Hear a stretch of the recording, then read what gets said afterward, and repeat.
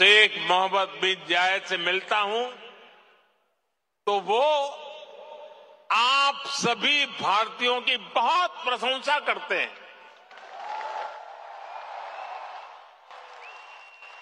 वो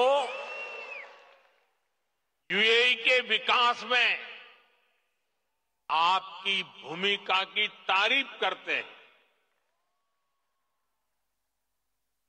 इस जायद स्टेडियम से भी भारतीयों के पसीने की खुशबू आती है। अपने सुख दुख का साझेदार बनाया है। समय के साथ ये रिश्ता दिनों दिन और मज़बूत होता जा रहा है। और इसमें भी brother Sheikh Mohammed bin Zayed की बड़ी भूमिका आपके प्रति वो कितनी संवेदनशीलता से भरे हुए हैं, वो मुझे कोविड के दौरान भी दिखा। तब मैंने उन्हें कहा था कि हम भारतीयों को वापस लाने की व्यवस्था कर रहे हैं। लेकिन उन्होंने मुझे बोल दिया, मैं बिल्कुल चिंता न करूँ।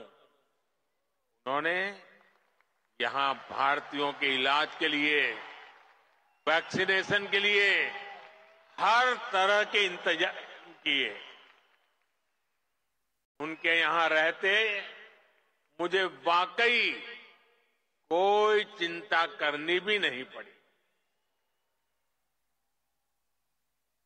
मैं आप सबके प्रति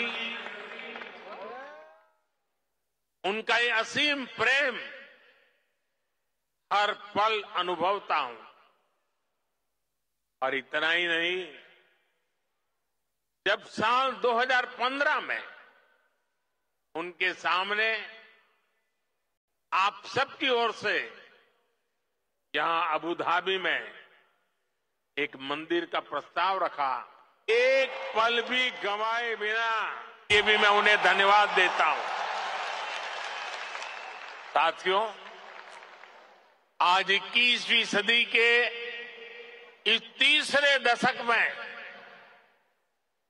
भारत और यूएई का रिश्ता एक अभूतपूर्व ऊंचाई पर पहुँच रहा है। हम एक दूसरे की प्रोग्रेस में पार्टनर है। हमारा रिश्ता टैलेंट का है, इनोवेशन का है, कल्चर का है। बीते समय में हमने हर दिशा में अपने संबंधों को नई ऊर्जा दी हम दो, दोनों देश साथ मिलकर चले हैं, साथ मिलकर आगे बढ़े। आज यूएई भारत का तीसरा बड़ा ट्रेड पार्टनर है। आज यूएई सातवां बड़ा इन्वेस्टर है। हम दोनों देश ईज ऑफ़ लिविंग और ईज ऑफ़ डूइंग बिज़नेस दोनों में बहुत अधिक सहयोग कर रहे हैं। आज भी हमारे बीच जो समझौते हुए हैं वो इसी कमिटमेंट को आगे बढ़ा रहे हैं। हम अपने फाइनेंशियल सिस्टम को इंटीग्रेट कर रहे हैं। टेक्नोलॉजी और इनोवेशन के क्षेत्र में भी भारत और यूएई की पार्टनरशिप लगातार मज़बूत हो रही है।